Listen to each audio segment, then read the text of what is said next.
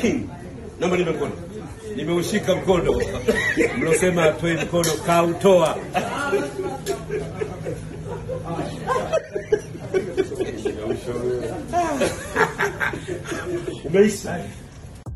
sawa nili, nili, nilitamani sana nikipata nafasi nikusanue kuhusu hili na uzuri imekuwa ni muda mzuri sana wa kusogezea hili. Ni safi kabisa kumwona leo king kuwa balozi wa usafi na mazingira hapa dar es salaam tanzania. Nikupongeze tu alikiba hilo ni kubwa sana lakini pia harmonize pia amekuwa ni balozi wa usafi. Leo ilikuwa ni siku kubwa sana kwao ambapo tumemwona alikiba pamoja na harmonize wamekuwa mabalozi.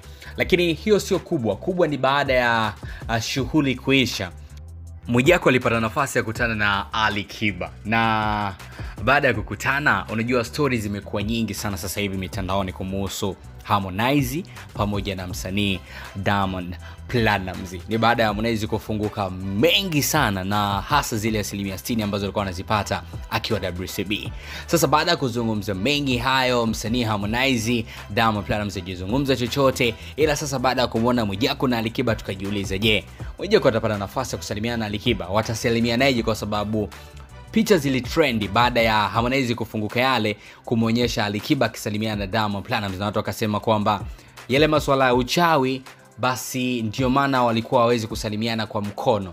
Yani ndio maana huwezi kuona picha ilionekana alikiba aliweza kumpa uh, alimpa upande wa mkono alimpa sehemu ya mkono lakini akumpa kiganja chake. Kwa hiyo stori zikawa nyingi kwamba sasa hivi hatusalimiani kwa mkono. Na nipe mkono tushindane ndio kauli ambayo ilikuwa na trendi sana kwa sababu harmonize aliweza kuzungumzia pia hiyo ishu sasa sasa hivi kupitia sanuka nataka nikusanue kwamba mwijako baada ya kutana na alikiba akamwambia alikiba nipe mkono. Alikiba akampa mkono kilo safi tu. Hasa komenti zimekuwaje baada ya hilo? Komenti hasa tukianza na caption ya mwijako ilikuwa alisema atoi mkono nani? Anajua mi ni ndugu yake na sina ushirikina kabisa. Akahashtag mwijakue kuna watu walikuja comment wakasema yani kiba kukupendeza shikamo huyu alisema kiba lizuri nyie suti limekaa mahali pake sawa. Huyu akasema alikiba featuring harmonize.